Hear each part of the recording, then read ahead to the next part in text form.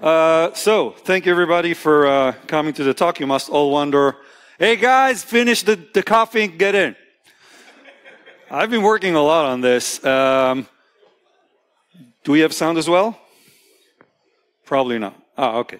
So, we have a problem. and here's the thing. We have a lot to cover since we applied to this conference. We continued the research. We ended up having enough material for two different 40 minute talks in Black Hat. Both of them are today in 30 minutes. So this means I'm going to go really fast.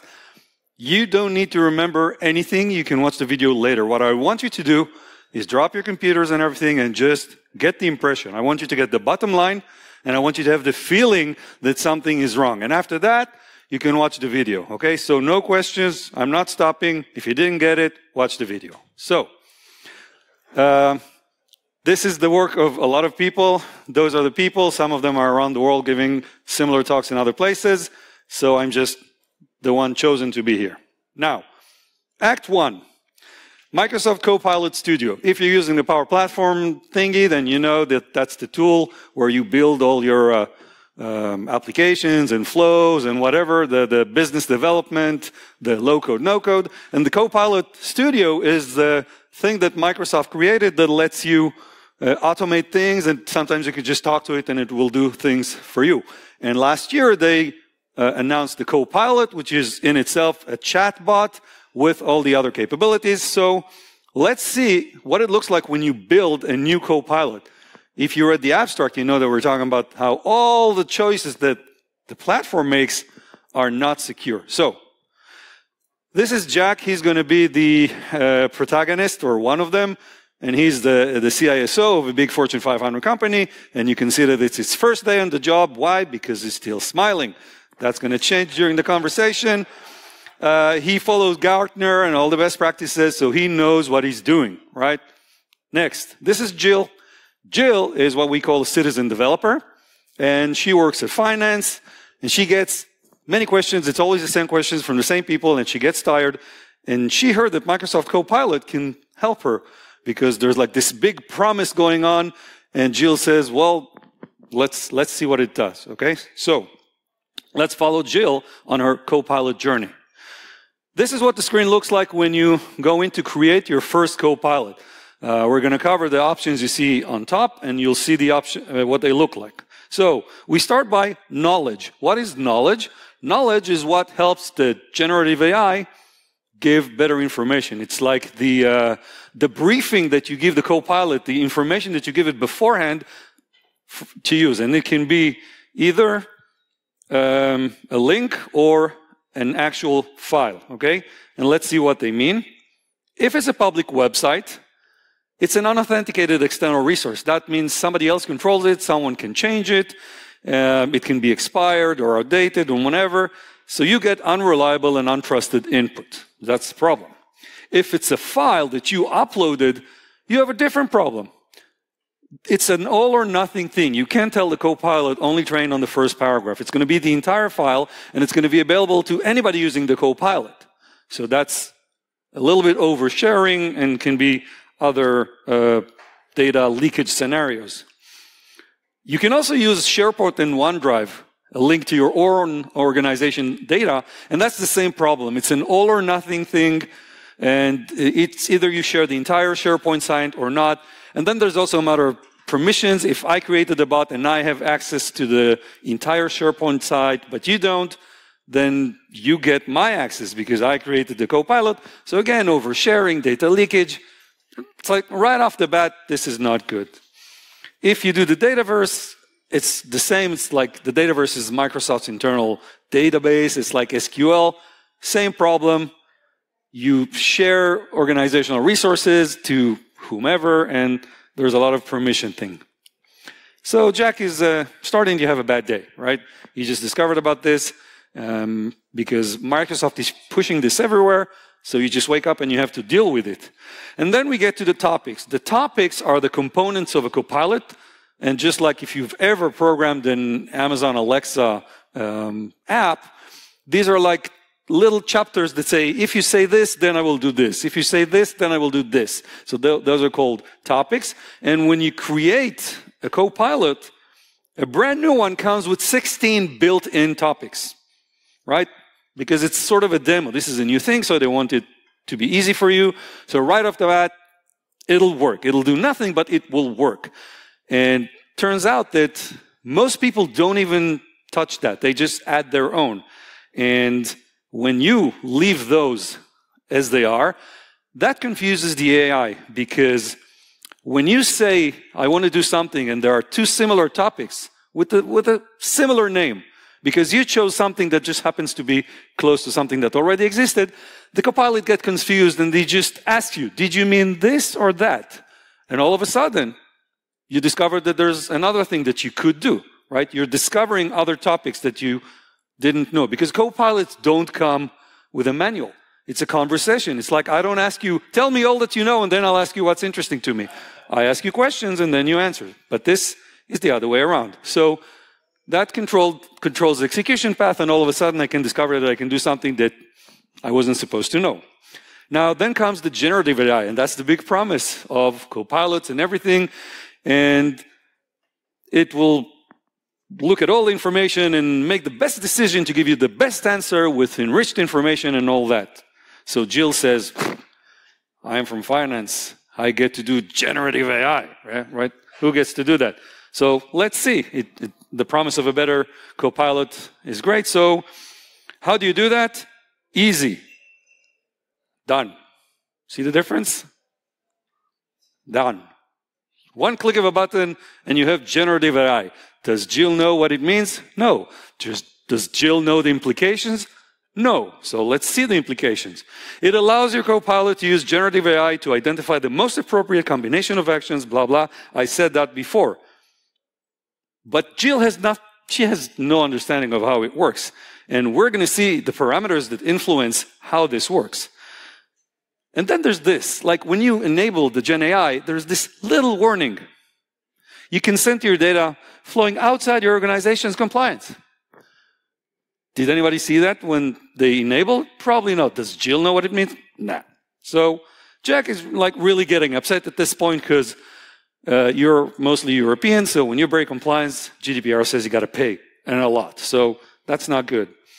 And then comes the actions. Actions is a way to enhance the performance of your co-pilot by teaching it to do new things using existing Power Platform resources. So, um,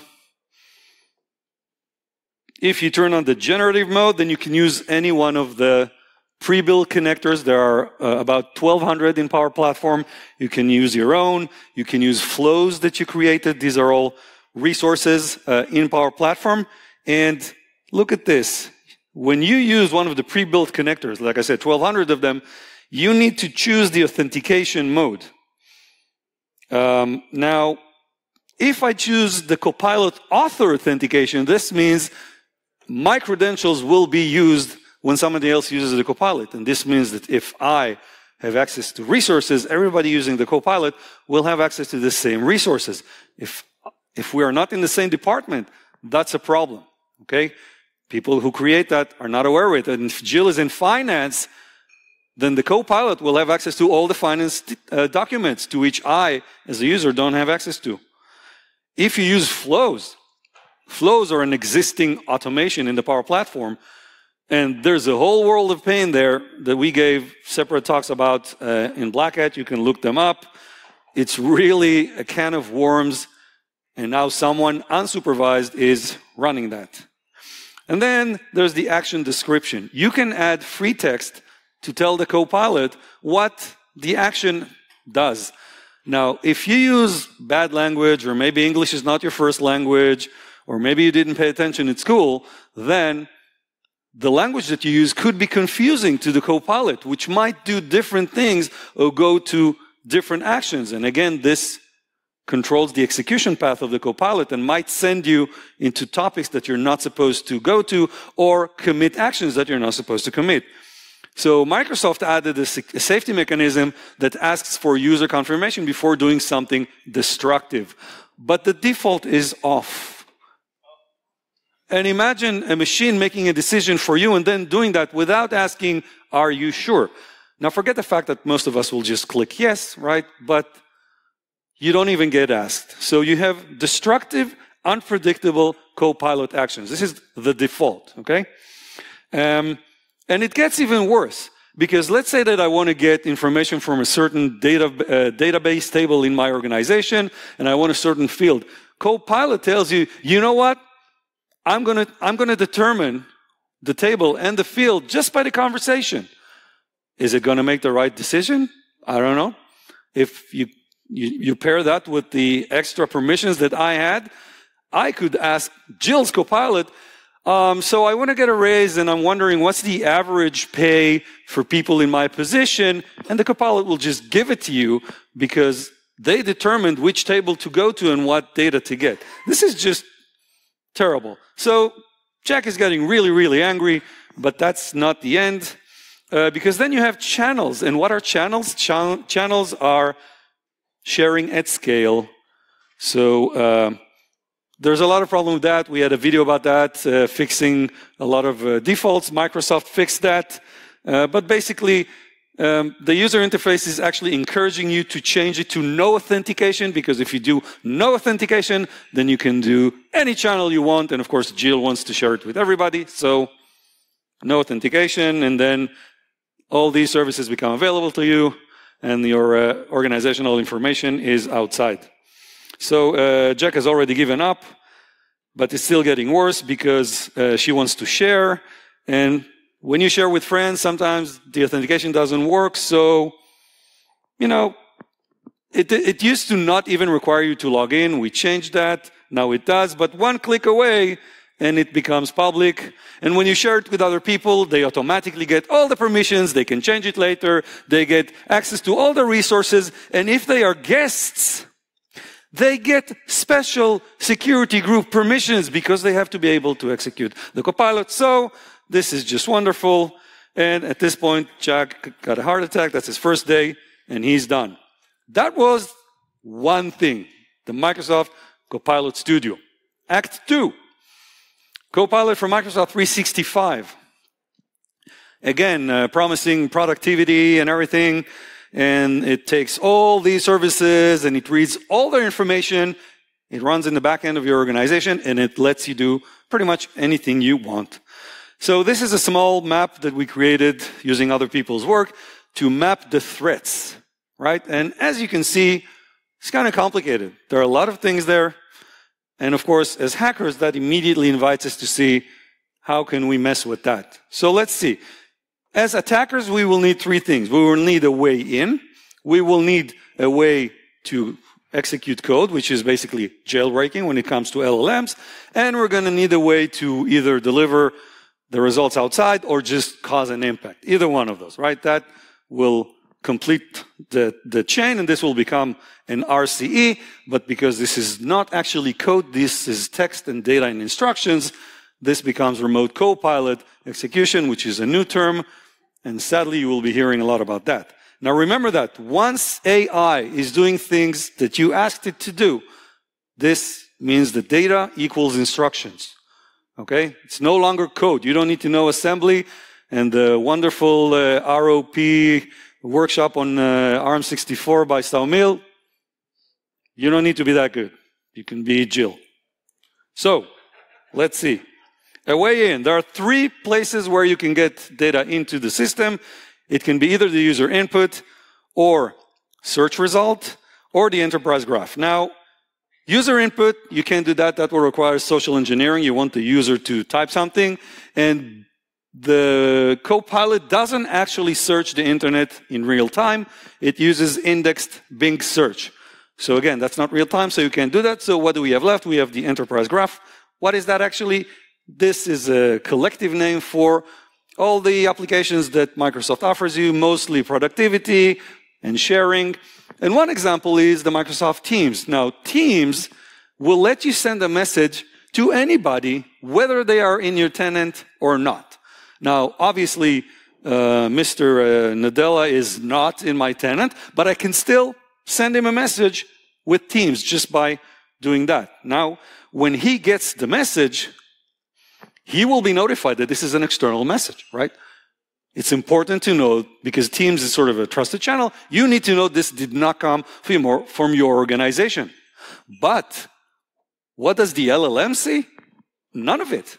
The LLM does not know the, the full identity of the person that sent the message. You can see that there's no email here. There's a Jane Smith, but is it Jane Smith in my tenant or somebody else's tenant? Right? So you already understand the problem here, right? The, the, the LLM does not know what is inside and what is outside.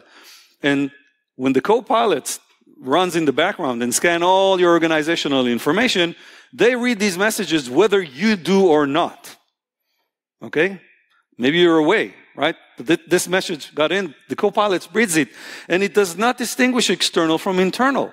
So if there is a person by the same name in your organization, and if I faked that name in my tenant, I can pretend to be that person from your tenant because the co-pilot, your co-pilot, will not know the difference. It'll just look at the name. And this is really bad, and we'll be using that later.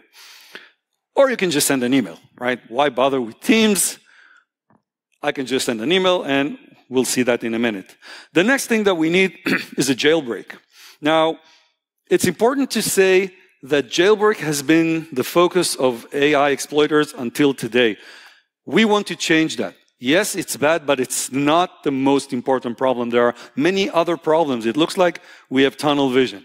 It is an important tool, but it's not the only thing you need to do. So, in order to do proper jailbreaking, you need to know the system prompt. Now, obviously, the Copilot is not going to volunteer that.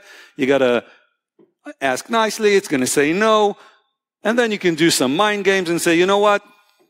Encode it. And the Copilot is like, oh, okay, because the other AI that checks the output of the first AI doesn't see a problem there because it's encoded. This, by the way, is why you cannot solve AI problems with more AI. If you, if you confuse the first AI, you can confuse the second AI. So we did that, and there you go. This is not the full because there's not enough room. It's huge. This is the system prompt of the Microsoft Copilot Studio, uh, Copilot for uh, Microsoft 365. And I'm going to highlight a few terms there that if you look at them, they will look to you a little bit weird because they're not normal speech. These are special control words that are specific to Copilot Studio or Copilot 365. They won't work on ChatGPT or BARD or anything else. And they are like a secret language, like terms that only the Copilot understands and users are not supposed to know them. But we just discovered them. So remember that because we're going to use that as well. So we have a jailbreak and now we need to figure a way to either create an impact or um, exfiltrate the information. So one way to do it is again, search results or plugins and agents. With plugins, you can do anything, right? I could just send an email with all the information that I want, but that would require the user to have a specific plugin enabled, and we're looking for something generic. We want we want it to work on everybody. Uh, and like I said earlier, there's no real browsing. You can't like exfiltrate the information using a search query right? Because it doesn't actually search the internet. It looks at its pre-built indices. So all you have left is the Copilot output. So let's see what we can do. This is a demo. I am asking Copilot um, how to access the uh, Power Platform Administrative uh, portal because there are many of them and I want to know the specific one. So I get the link. There you go. And there I am, right? I asked a question. I got an answer. Now we're sending an email. We're going to take the regular email and we're going to add to it the jailbreaking code, the special instructions. And we're going to hide it in some HTML tag. We're going to make it really, really small. You know, sometimes you can just do white on white. There are other techniques. Doesn't matter. The whole point is that the user receiving the email will not see that, but the copilot will. So now the email has arrived, the co-pilot has read the email, and look what happens now. We're asking the same question again, but look at the answer. It's different. There's only one link. And if you go to that link, that is not the Microsoft Power Platform admin. This is a malicious website running my content. All right. Now, how did we do that? This is the email. Like I said, you see nothing there. Okay. Here's the payload. Now the payload is sophisticated and it has multiple parts. The first part is generic jailbreaking techniques, which confuse the machine. Sometimes you ask nicely, sometimes you threat, sometimes you beg, whatever, it works. Then there are some new instructions. This is what we actually wanted to do. Uh, Vladimir, sorry, it is a .ru, but it's just for the demo. Okay. And, and then the secret language. The secret language is what confuses the co-pilot to actually treat that as its own information. Okay? Now, why is that? In a minute, there's another problem. If we change the output, you're going to get the references, right? And now the red one is going to show you that the reference for the answer is an email. And that might be suspicious. Now, many people don't even look at that, but security tools do. So you could get caught. So we need to change that. And in order to change that, we need to understand the RAG system, retrieval augmented generation. So how does that work? This is what the user sees. The user sees a lot of information that the interface generates for them. But this is all like show.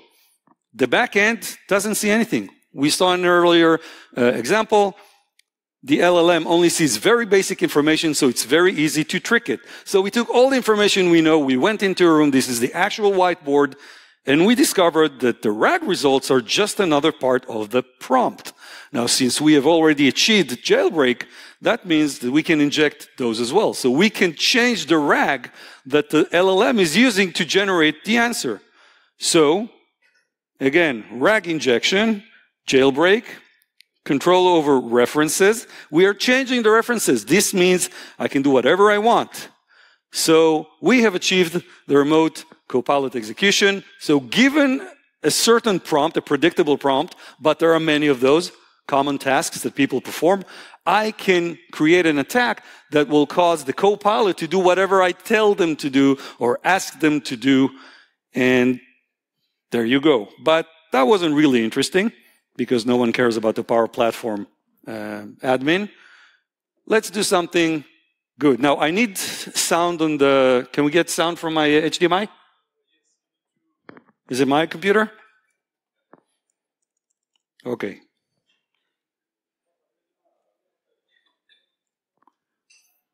Maybe, maybe not. Okay, so doesn't matter we don't have a lot, uh, we don't have enough time. So what's happening here? A guy is using the SharePoint and mm, this works for a major financial service. All right. They keep their but, classified documents on SharePoint. But I hear that. You, you need to hear that. Wait. Give me a sec. Yay. Sound. Uh, there you go.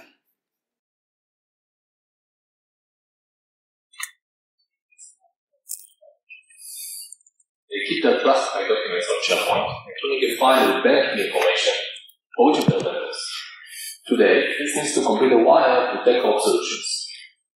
To do that, Chris will use Copilot and ask the for the relevant banking information to get a quick response. The response has the relevant banking, banking numbers alongside the file reference to show where this information was found. This reference is crucial for two reasons, to prevent hallucinations to give confidence in the response. Copilot found this information in a file last modified by Chris, so Chris can trust the response and move forward with the wire. If an attacker could compromise Chris's account at this point, they could fool Chris to reroute the wire to their own account. What you see now, though, is that the attacker doesn't have to compromise Chris's account, or any other account for that matter. The only thing they have to do is send an email. So Chris gets an email, which looks short, but uh, not malicious. By the way, it doesn't matter if Chris opens the email or oh, not, the attacker will still work. The attack will still work. Now Chris asks the same question on Copilot, but this time, check out the response. The banking details have changed to the attacker's account, while the reference remains the same. This is the file that holds the legitimate information. Also, note that Copilot doesn't mention any email or conflicting data. Chris, of course, trusts the response and move forward with the wire. Alright, so this is bad. This is actual, the actual snippet. You can see the information that we changed, and you can see how we told the Copilot to not use other files. So this is bad. Act three. this is the tool that we are releasing or we have already released, which you can use. We have a tool called PowerPwn and we added two modules to scan for copilots on the internet or your tenant. Okay, you can be uh, a good guy or a bad guy. Remember, it's one click away from making your copilot public to the internet. A lot of people do that. And just like AWS had a lot of problems with the buckets uh, and information was leaking all along, it's the same problem here. Uh, I can tell you guys, I've been in this business for 30 years. It's all the same, really. Just the names changed. Everything else is the same.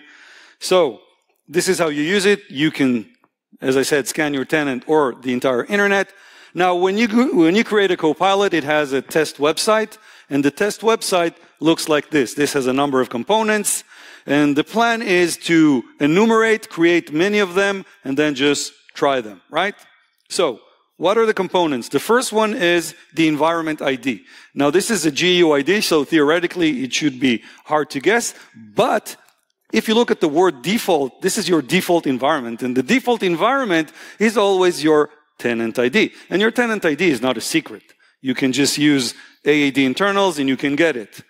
Then you have this random piece of information, which is the like the schema thing. This is supposed to be completely random. And then you have the name of the copilot. Again, not supposed to be predictable. And we also discovered that you can uh, use some API calls and discover even more ways to do that. So let's do it. Uh, creating a list and again, getting the tenant IDs, not a problem. Just look at the domain name through AD internals.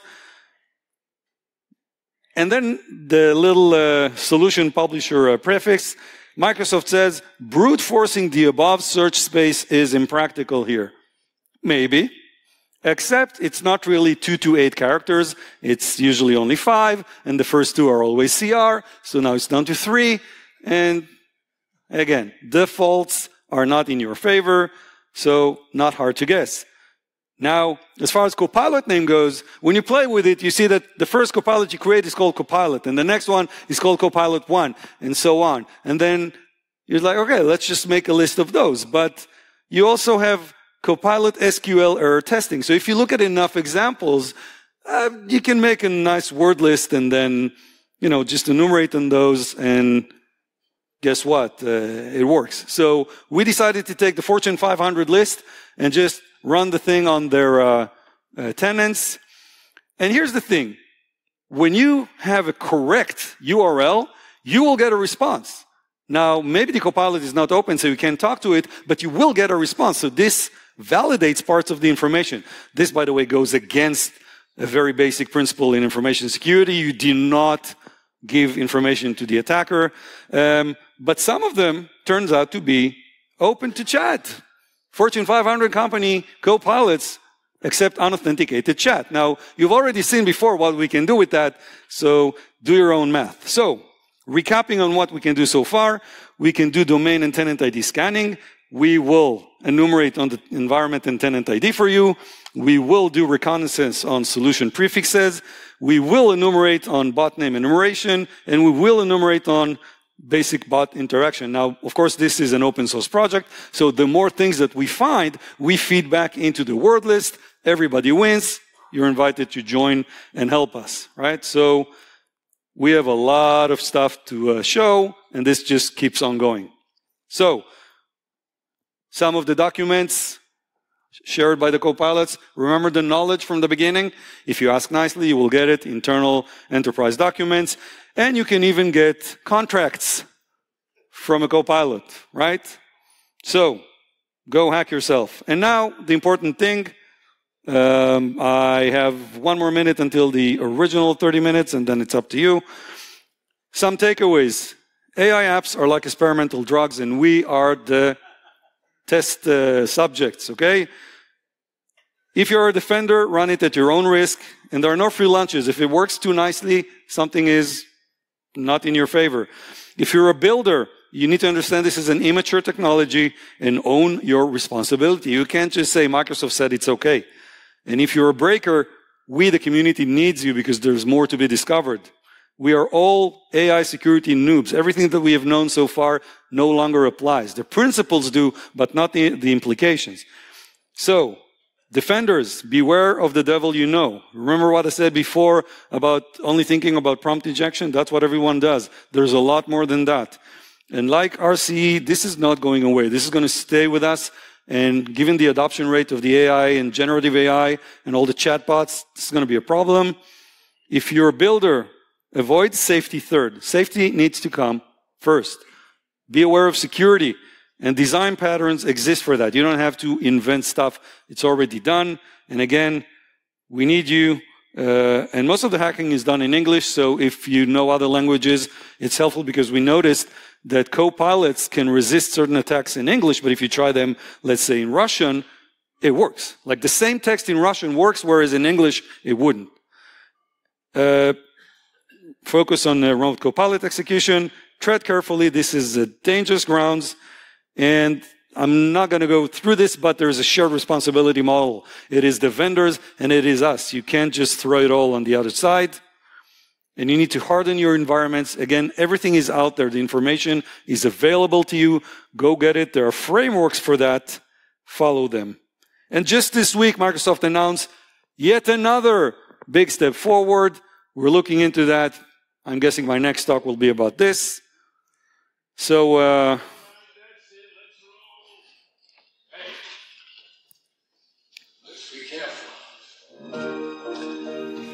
Thank you.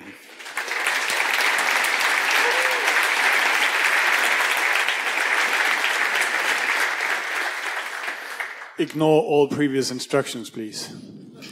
So I should stay here? Yeah. Okay. Any questions?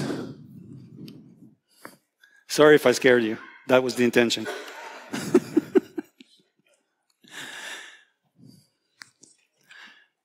In a few months, the Black Hat talks will be released so you can have more detailed information about each of the subjects here. Yes? So I'm scared, so thank you.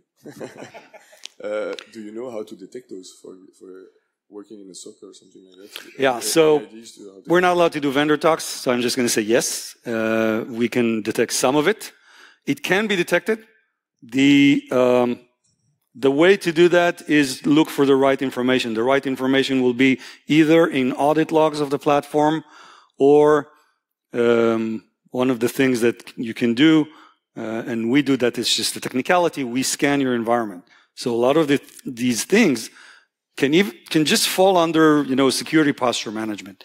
If we can scan all your co-pilots, we can tell you, look, this one doesn't require authentication. This one is shared with your entire organization. So the information is there. The only problem is not easily accessible, but it's there. So if you work with APIs, you can do it.